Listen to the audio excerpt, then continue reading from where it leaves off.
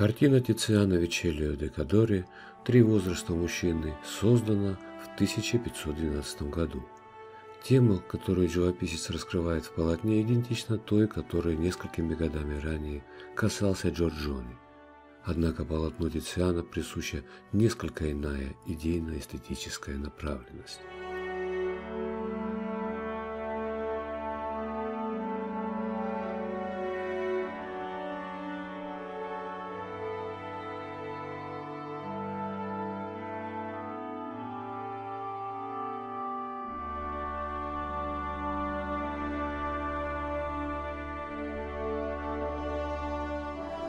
Как отмечает Бенуа, Тициан многое впитал из эстетики Джорджони, но переосмыслил полученные знания и создал собственный неповторимый стиль.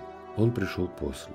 Он взял те средства и приемы, что были найдены и изобретены предшественником, но он ими воспользовался для своих целей, для своих мечтаний, вполне свободно и самостоятельно. А цели и мечтания Тициан находил в душе неисчерпаемое множество.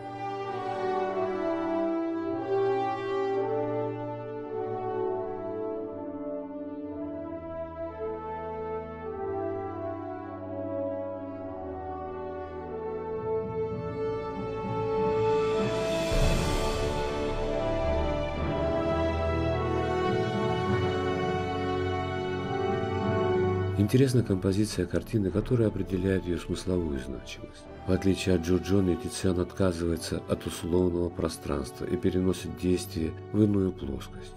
Герои изображаются на фоне прекрасного пейзажа. Первый план занимает молодая пара, полуобнаженный мужчина и женщина с двумя свирелями, прильнувшая к своему возлюбленному. Рядом с ними художник располагает двух погруженных в безмятежный сон младенцев спокойствие которых охраняет маленький ангел. Вдали видна фигура старика, держащего в руках два человеческих черепа. Каждый из планов картины имеет свою особую эстетическую направленность и смысловую значимость. Молодые мужчина и женщина олицетворяют зрелость жизни, пору, когда человек совершенен духовно и физически. Эту идею отражают многие детали первого плана обращает на себя внимание цветовая палитра одежды женщины с преобладающими белыми и красными цветами.